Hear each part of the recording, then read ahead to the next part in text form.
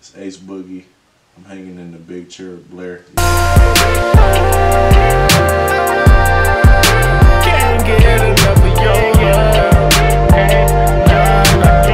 Alright, welcome to the Big Chair with Blair. I am your host, Blair Moon, and today my guest is Ace Bugey. With no hoodie. Alright. Alright, so uh, can you kind of like explain kind of who you are to the people at home? Explain who I am. All right. Um, I'm too much of a nice guy. I'm the nice guy of the room. Um, let's see. I graduated from Cass Tech. Went to Wayne State for like two years. Dropped out. Did all that. Um, obviously, I make music. Uh, let's see. What else do I do? Um, I don't work at all. I don't do that. We don't do those type of things around here. You know. Alright. Um, let's see. Why not? I'd rather sleep. I feel it. I'd rather be asleep. Um, other than that, So no uh, job. No. Other than that, I just like to be uh, creative and whatnot. In a little, in a little different process. Why'd you drop out? Um, when I when I first went to school, at first I was I was a pre med major. Um, it got boring like a year and a half in. Like I started skipping classes. I started not going to my 8 p.m. government class because like it didn't end till like 10. So I'm like, that's one class I'm not going to. Dropped it, and then the whole little pre med thing just got boring. Like of course, of course I wanted to be pre med at first for like kids. I got a bunch of cousins, a bunch of baby cousins. My friends got kids. So it's like, and they all love me. I'm, I'm the uncle. I'm, I'm the drunk uncle at functions. Drunk uncle at functions. So after that, I switched majors. I went over to uh, broadcast journalism, and I was taking classes like video editing, uh, sound engineering, and it was just like I felt like I was paying money for something that ain't gonna be utilized, and like not utilized in the real world, but it's not like you can go out and find this job for real. So it's like, Right. but it did help me with with my creative process and learning who I wanted to be. Alright. So all that dropping out helped. Just don't drop out if you don't have a plan. So getting into the music, so what inspired you to chase after your passion for music? Um, I started music in seventh and eighth grade. I always wanted to know like how music is made. So it's like I had a CD player I carry around in my book bag, and I hear the song and I'd be like, how how did this get on this little CD? Like, mm-hmm. cause you just grow up and you you see that people put music out and it's automatically on a CD. Like I know how to burn CDs, mm-hmm. but it's like how they get the the skits, the music, the animations and stuff like that. So it's like it made my curiosity higher than what it was, and then I like music as a whole. So in eighth grade, me and like two other people, we started a group, and we were beefing with people who actually made music. Like we had, had fights in like the the during recess. We had like rap battles and stuff in the parking lot, and then we started like semi recording on like Windows computer, like mm-hmm. the you know the interaction mic. Like they had the it was like mic stand like this, excuse me, and it had like the long mic that came out to where you talk to people over FaceTime. Okay. We was recording on that, and then it's just like I was the only one who stuck with it because uh, I felt like I was the only one who really wanted to take it serious. Right. So pretty much that that just grew into a curiosity of how to make music, and I started doing spoken word, and that's that's really how I got started doing spoken word. I had like three spoken word songs. Alright, so where did the name Ace Bugey come from? two occasions. Um, when I was, I was like 13, 14, I played basketball in Dearborn for the D1 Dads League. And it was me and a Hispanic kid. We were the leaders of the team. And so he was injured for like two weeks. And we lost for like two weeks. Like we were, we were like all five for like the next two weeks. So they started giving me more playing time. And uh, like through three or four games, I'm putting up 24, 25 consistently. They're like, okay, you are ace, you are go to. So when I started making music, I kept that name because it was like it was a genuine name that somebody gave me. Mhm.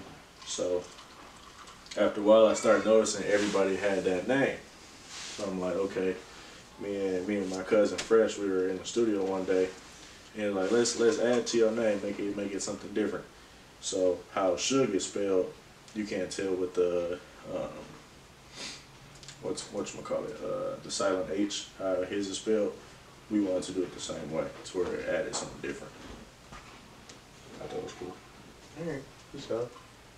So, last or this year, 2019, you dropped a couple of projects to Apple Music.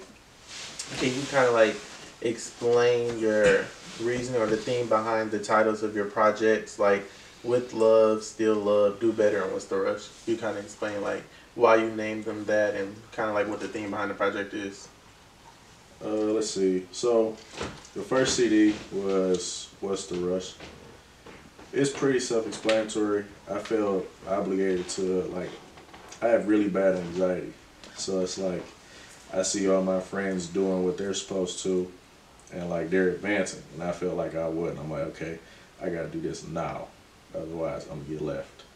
So it just it grew like I felt like I was gonna be left out. So I'm like, I just gotta drop, drop, drop now, now, now. And then that's when I started learning the, the that patience is a real virtue. So it's like, what's the rush is a story about.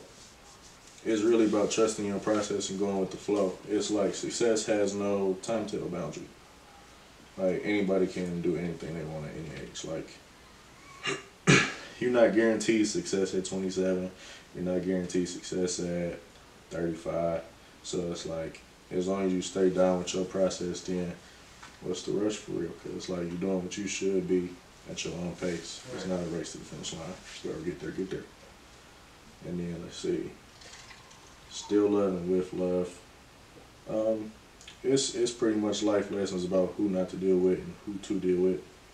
You see through a lot of uh, when you when you going through your process, you see through a lot of fake and me, I'm only 20, I think I'm 25. I should be 26 in February. um, it's like, I've had a lot of friendships, I've had a lot of relationships to where it's like it didn't pan out. Some mistakes were on me, some mistakes were on them, I admit to that. But it's like, you gotta learn who you can and can't be around. Because it's, it's vital to your process. Like I keep saying the process because everybody has a process. So it's like you gotta learn who to cut off, when, and how to do it. Which brings me into do better. It's like now I'm in a place to where it's like, all right, if it ain't right, don't include me. Cause like now, I just wanna, I just wanna advance properly. And if you can't be around, all right, cool, you gone. If she can't be around, she gone. If he with it, come on, you on board. As long as you, as long as you stand down and stay loyal. So it's, it's just about doing better and uh, making the proper moves for advancement. So basically, you would say that your life experiences contribute a lot to your music and your, the process and behind making your music. hmm Making a lot of mistakes. A lot of mistakes. I make a lot of mistakes. I still make them every day. Everybody do. But it's about accepting your mistakes and learning that that's a part of your story that you have to use to get to your success. All right. Um,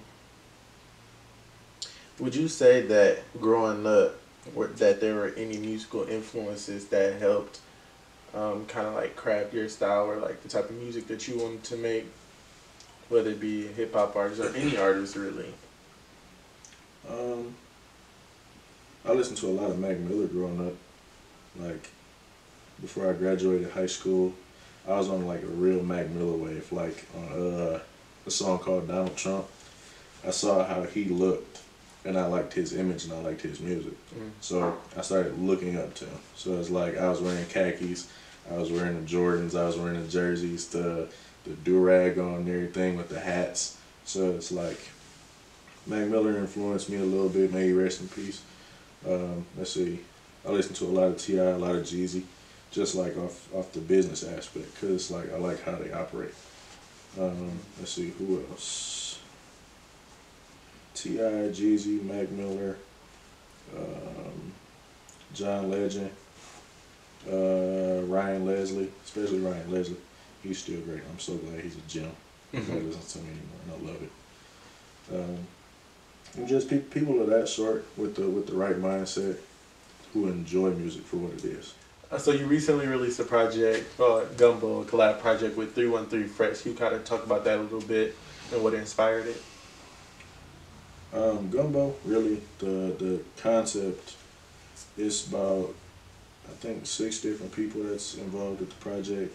Uh, myself, Fresh, True Speech, Dank, K Hamp, SP. Um, we're all related. We're all related through blood. Um, pretty much, we just came together and we just for one weekend we locked in and really operated off each other's styles. So it's like gumbo is a is a pot of stew. So it's like different herbs, spices, meats, all that. Mm. So it's like everybody brought their different style to make different types of songs. Okay. So it's like with that, we were we were really able to vibe the whole weekend. So we just put out a, a decent body of work. So it only took a weekend to create the project.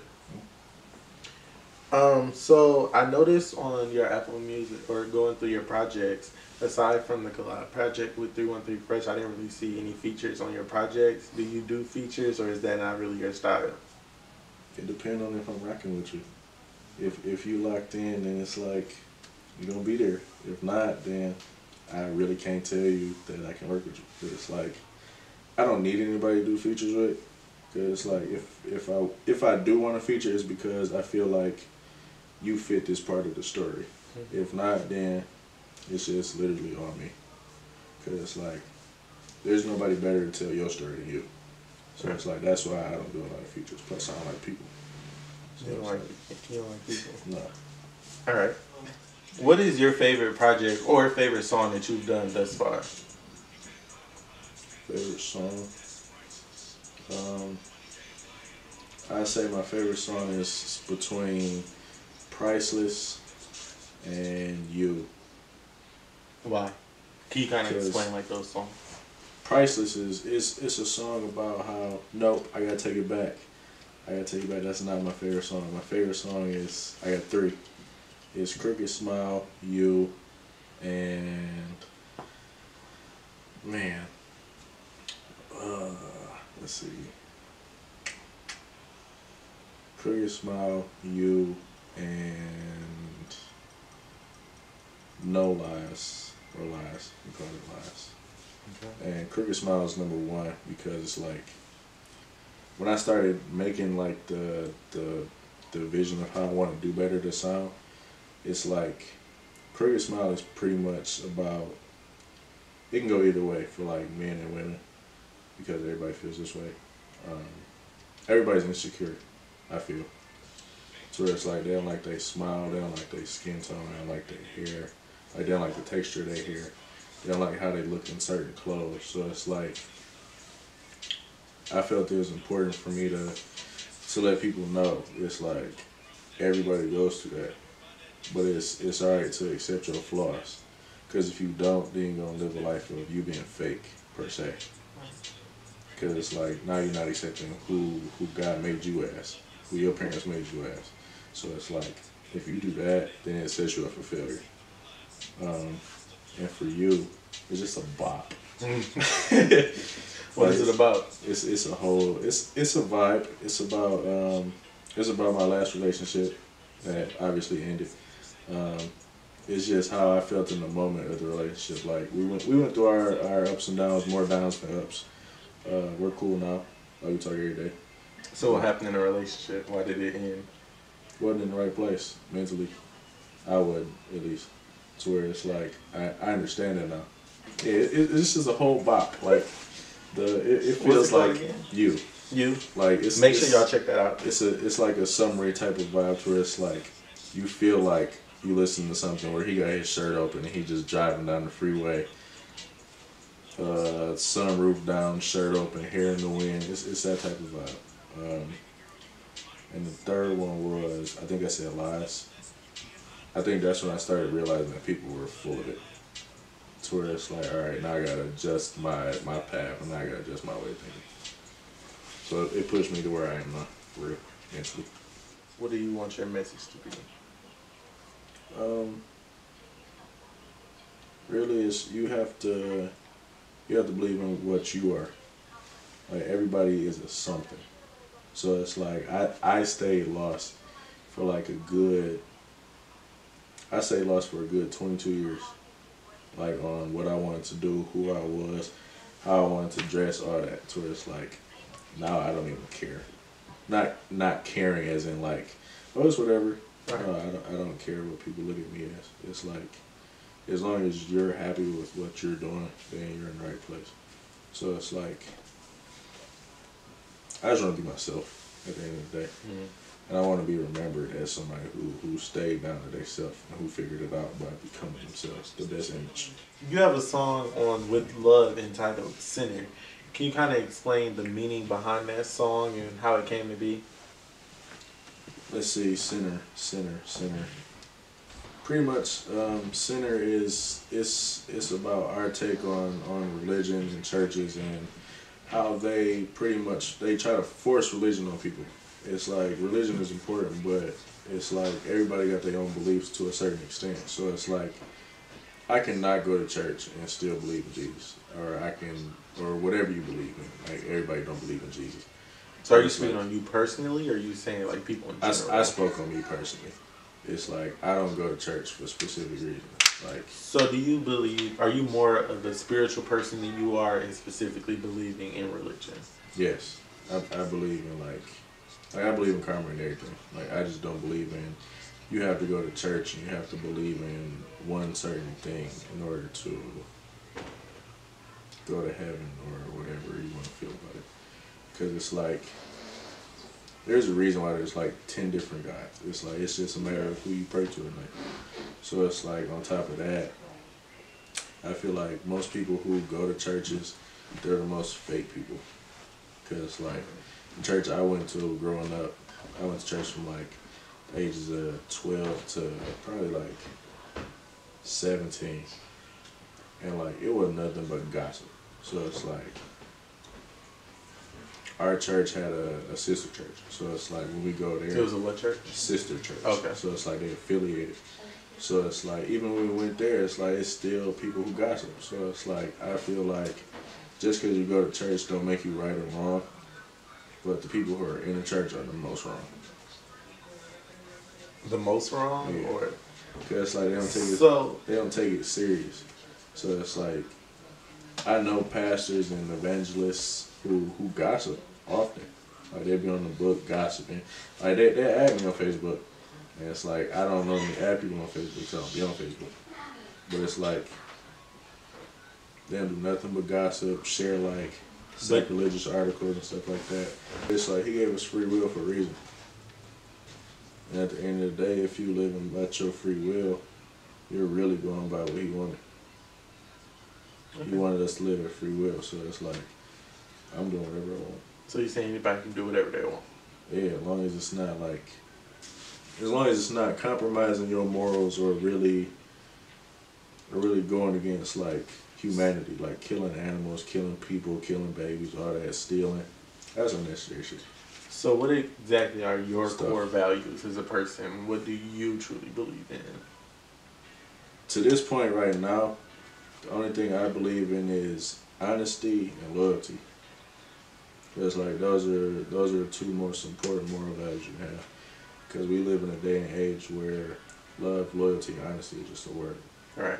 It's like I've been around people where it's like they tell you one thing and then they have a text message conversation about a whole nother thing behind your back. Facts. And I, I've been there and I've been on both sides. So it's like, really, if I can't trust you and I know you can't be honest, I feel vibes.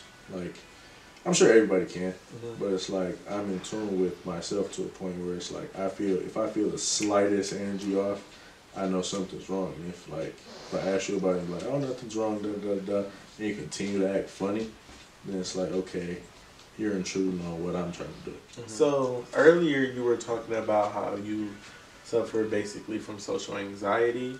Can you talk about how you kind of like cope with that and overcome that? I don't.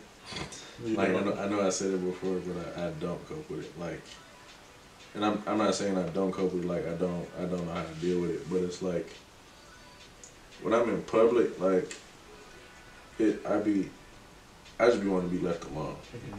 So it's like if we're at a public event, I make sure my back is to the very very back of the wall, so I know can't nobody come behind me try to talk to me or I I'm I'm a really silent person.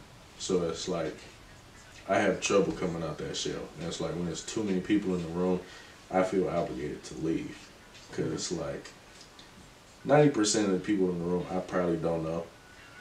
Unless it's a rare occasion, like it's a party or something like that. So it's like I try to make it better by like par- participating in like drinking, smoking, whatnot. Because that's just stuff I, I engage in.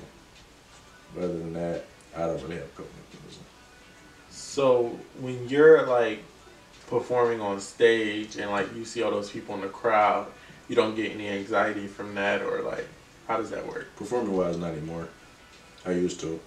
When I was like 17, 18, 19. It was like, I perform like in a box like this. For real. And it's like, because it's like just the, the sense of being nervous and the sense of not being accepted. It's like everybody want to be accepted, but it's like now I feel like if you don't accept me for what I present, then you're just not meant to be.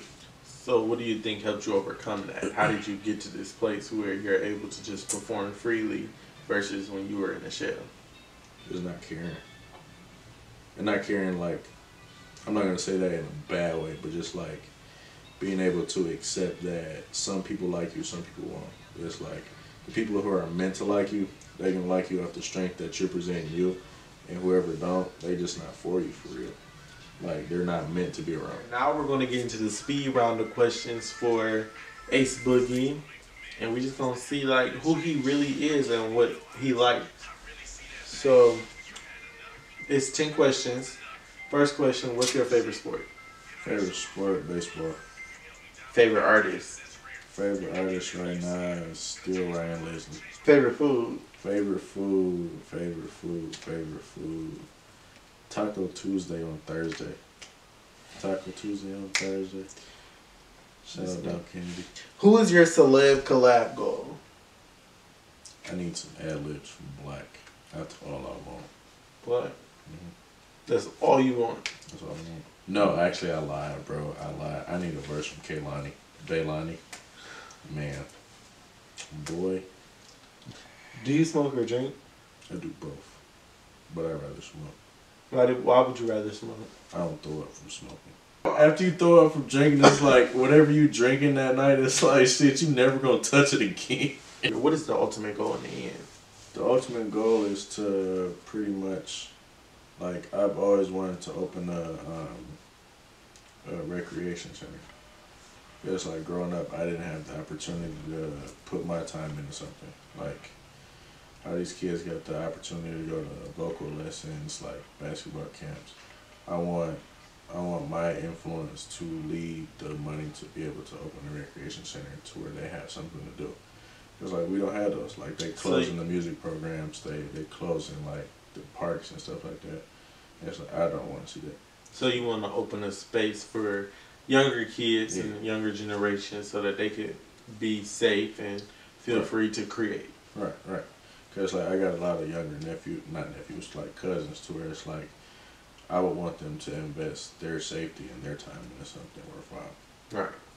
You keep doing this a lot. What is that about? Like, That's that's my thing, man. That's I'm your all thing? About, I'm all about peace. is that what that I'm really all means? about. Um, yeah. Why do you have two phones? Well, one. This is the one where people get like the the number to where it's like I don't answer. I answer this phone.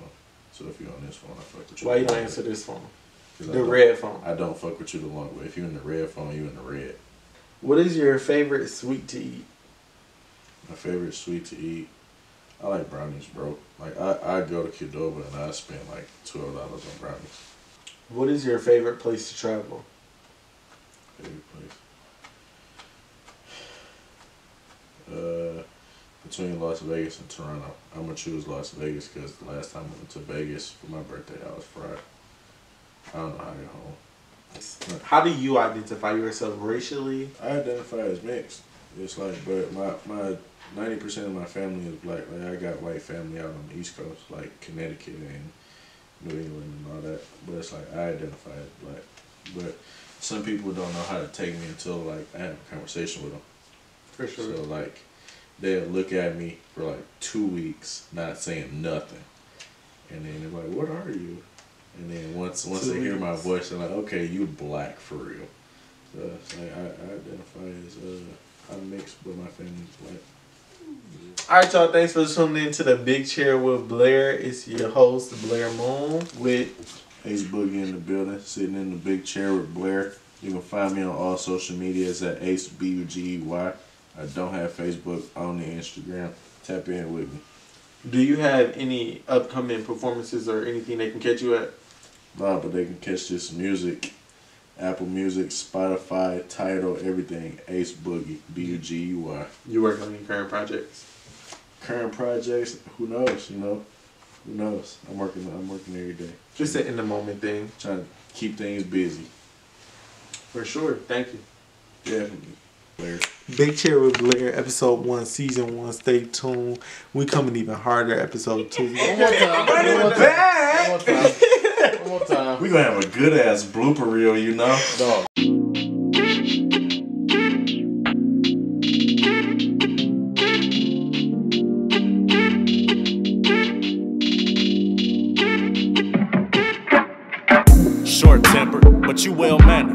Live above the standards. Look, you the face of independence. Tryna boss up, get up on your level. Baby, back that up, let's back it up. I'm tryna lock it down for life. You give me shivers every time we touch. I pipe it down, you hype it up, you ride it down, can't get enough. You the sugar, honey, iced tea. Never met a woman like you. You see the love in my smile, it's hard to crack without you. Love conquers all if it's real. From hell and back, over time it heals. Hit on fade if it's meant to be. Just watch and see. Look, baby, you can watch and see.